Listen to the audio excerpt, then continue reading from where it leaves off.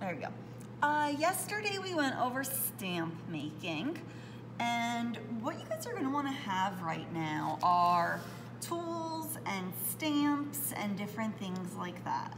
Um, you could always make more stamps. Remember that they do need to become bone dry though, so you might need to let them set up overnight. Your tiles are going to be due on Monday uh, with all the different textures and everything on them.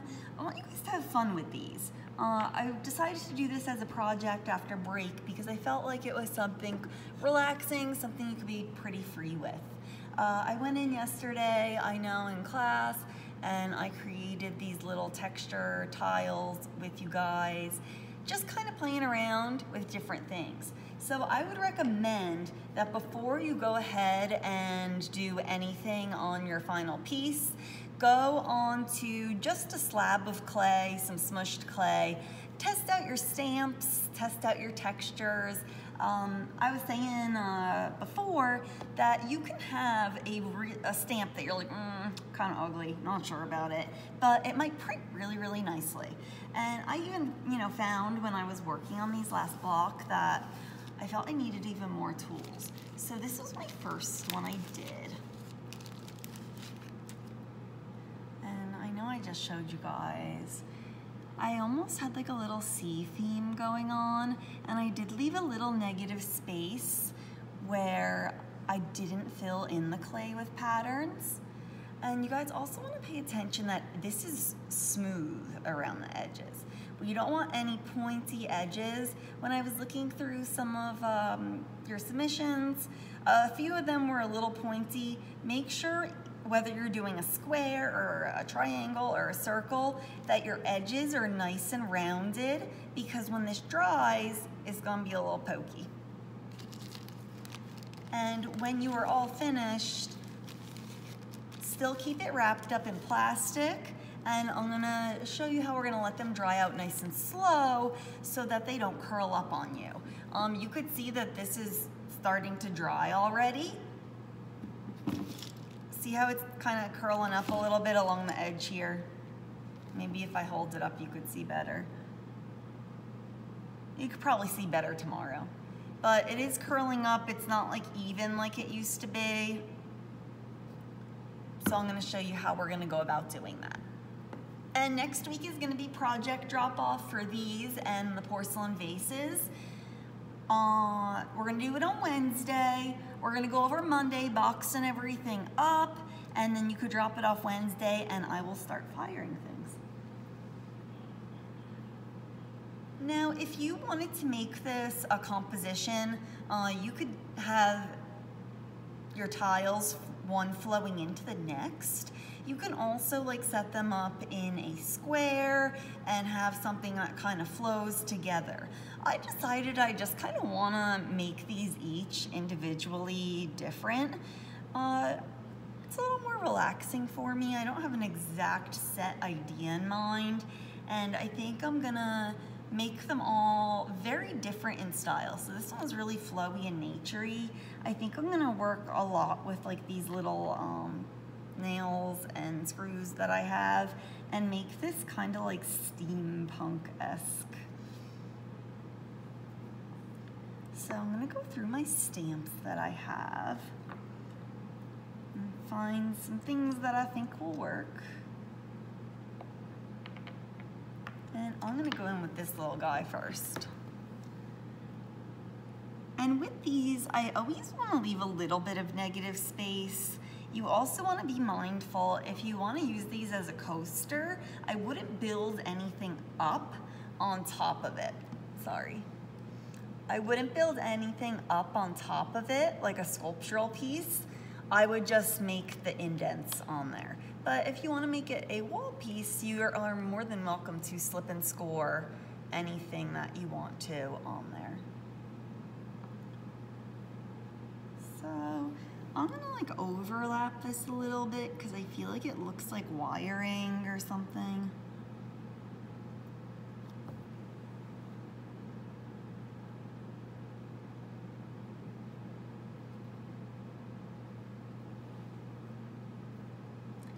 And I have some of these little guys too. And I feel like they're kind of gearish. Now when you're making um, your stamps, the ones you had yesterday might have a few little crumblies in them. Uh, just go in and do your best to remove those because you're gonna get a cleaner stamp that way.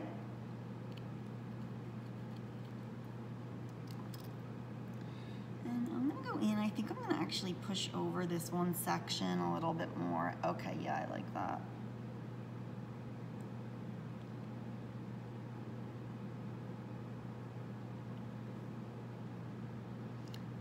And then maybe one right here.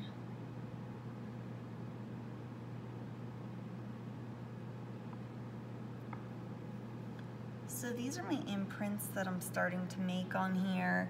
I kind of want them to be almost like little gears and wiring and wheels because I'm gonna go in and I'm gonna use these little found object pieces to push into them as well. And today and tomorrow, I'm gonna just kind of be working on these. I'll do one each block as you guys work along with me. And you could still find objects around your house. You know, take a look, see what you got. And just try to come up with a fun composition. I'm almost setting mine up like little like moons where I'm leaving a little section here bare.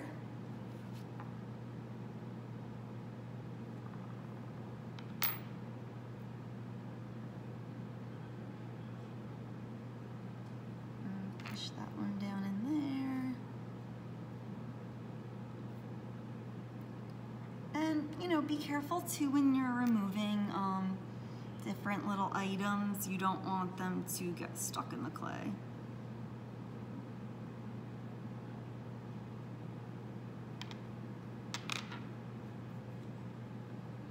I think I'm gonna roll this around.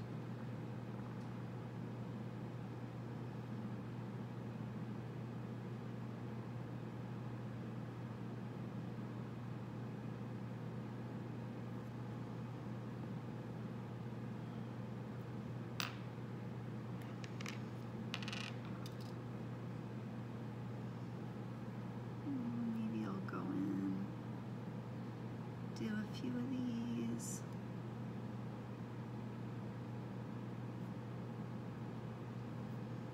Just have fun with this, guys. It should be pretty relaxing. Nothing too scary, nothing too serious.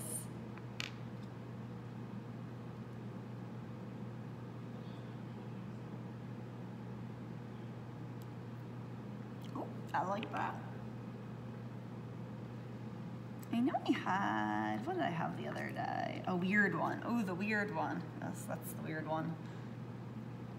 And I'm gonna actually, let's see if I could fit this right here.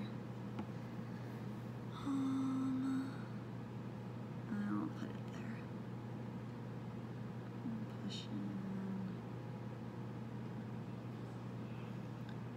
So, you guys can kind of see now how I'm building it. All little different gears, different things like that. So it's very juxtaposed, very different than the little uh, natural sea themed one I did. So, you know, we were naturally kind of going in with the organic style, but I felt like making one a little different. So they're your tiles. But make sure everything is smooth as uh, you know they dry out and become a little bit more leather, you'll be able to get those little crumblies out.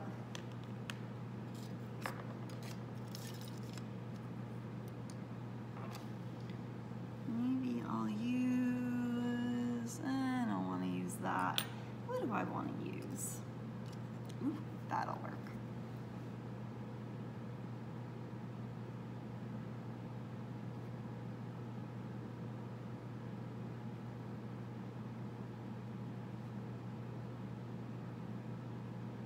And you need to fill in the whole thing. if you want to, you can.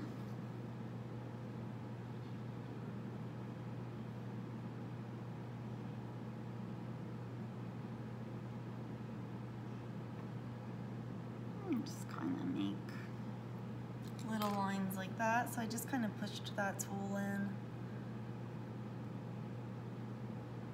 Started to make those little lines. And I think you guys can kind of see now how the stamps and the tools work together really nicely. It gives you a starting point to then uh, go in and texture around. I'm gonna go in and adjust this stamp a little bit because I feel like it could be a little bit more pronounced. So I'm just gonna kind of outline it.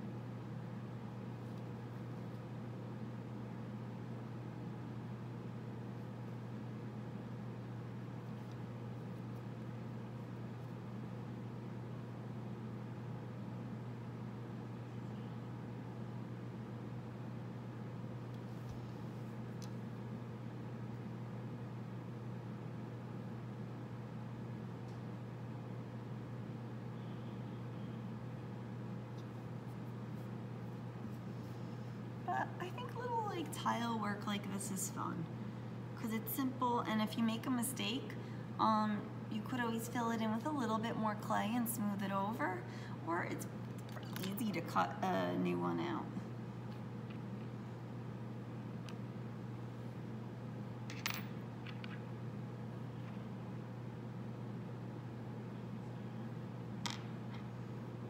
All right think I kind of like where that's going. I'm gonna maybe, this is flowing here. Let's see, what do we wanna do next?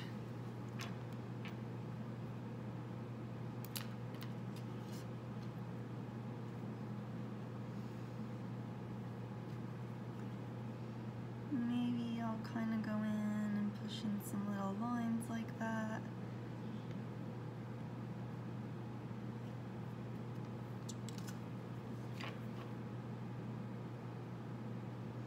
And you guys can use like a sharpened pencil as a pin tool if you need to.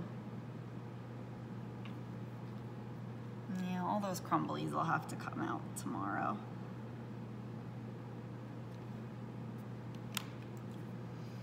But I'm gonna go in with this, make some little lines, and the glazes will be transparent that we're gonna use on these. So you'll be able to see the textures really nicely and the glazes will set into them in all different ways.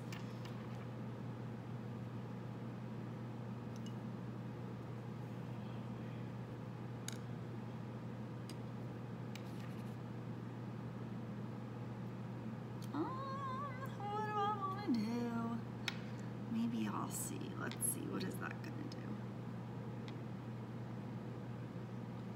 Okay, that works.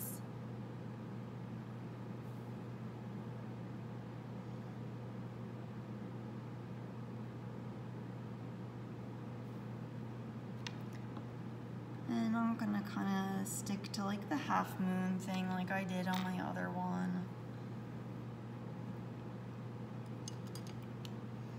And go in and just darken up these lines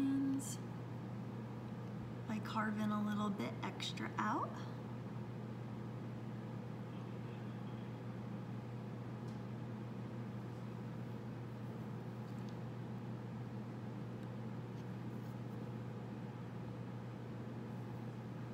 And then just keep making sure that your sides are smooth.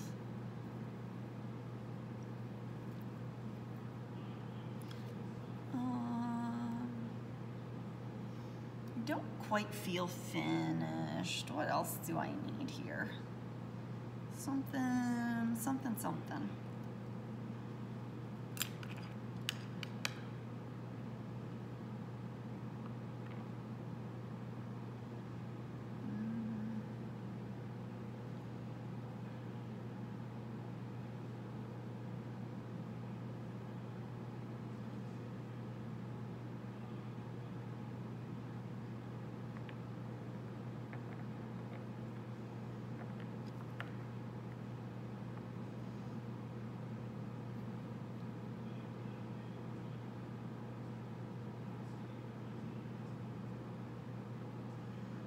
I don't like that.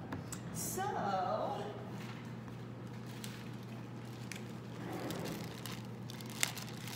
if that happens, you can fill it in a little if you'd like to. I'm gonna compress this clay into that area and smooth over. I'm just not feeling it. I don't like this.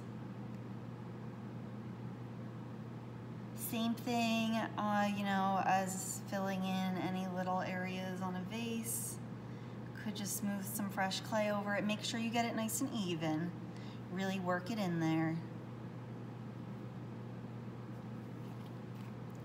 Because that was, that was just not doing it. That was not it. All right, let's see. I feel like I need one more little thing though. Um, do, let's take this apart and see what it is. Is this different? Is this different? No.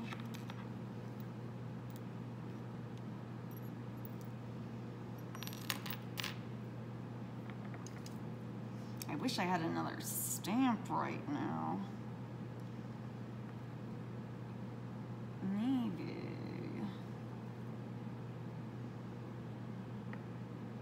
All right, I'm just gonna go in and add some texture.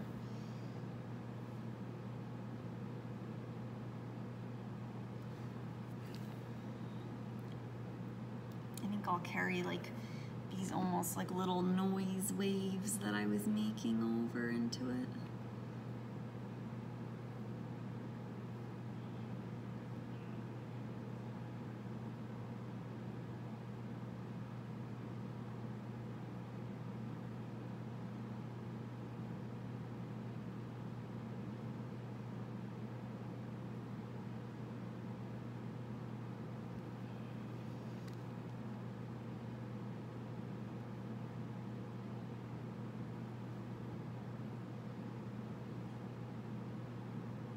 And like I said, we don't want these to dry out too fast because the edges are gonna kind of curl up on you and we don't want that and try to avoid that.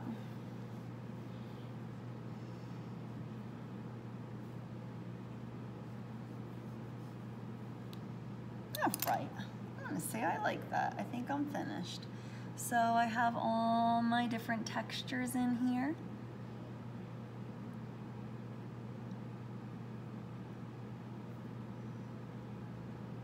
And I kind of have this gear steampunk thing going on now.